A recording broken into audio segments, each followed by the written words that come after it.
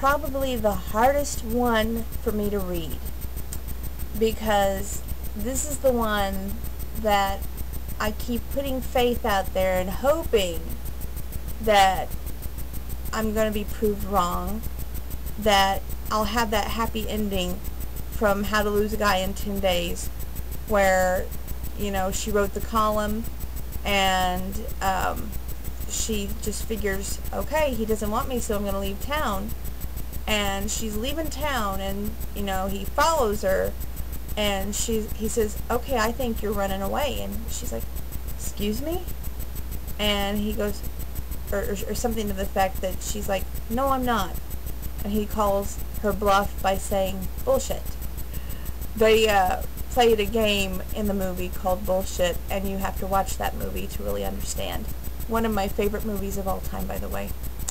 But um, I hope for that happy ending, but I don't know if I, that will ever come true in my case. So, without me talking anymore, let's read the lyrics to I'll Never Be Enough for You. When we first met, it was endless late night conversations on the internet. I couldn't wait for the next day, just to hear from you again. As we slowly got to know each other, I was pretty sure my dreams just came true. The day finally came when we decided to meet in person and step out from behind our computers. I guess it should be computer screens. I never will forget the butterflies flying around in my stomach I tried to hide them and be confident. I was so happy to finally see your smiling face and never for forget feeling lost inside your embrace, with your strong arms wrapped around my waist.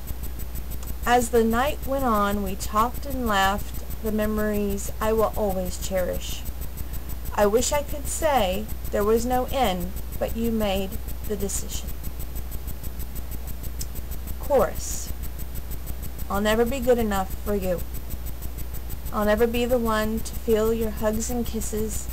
I'll never be the one to, at the end of the day, of a long, hard day, hear you say, honey, I'm home. I'll never be the one to wear your ring and have the honor of being called your missus. I'll never be the one who gets to bear your children I wish I could, I wish I knew what made you choose to walk away from me and block me from your life. I would do anything to set our wrongs and make them right. I thought you knew me, and I was beginning to know you. I still would love a chance to make things last at happily ever after, making all of our dreams come true. Instead of closing the story of us and walking away forever and never trying again. Repeat the chorus, which is, I'll never be good enough for you. I'll never be the one to feel your hugs and kisses. I'll never be the one at the end of a long, hard day hear you say, honey, I'm home. I'll never be the one to wear your ring and be called your missus. I'll never be the one who gets to bear your children. And then, of course, just say, fade out.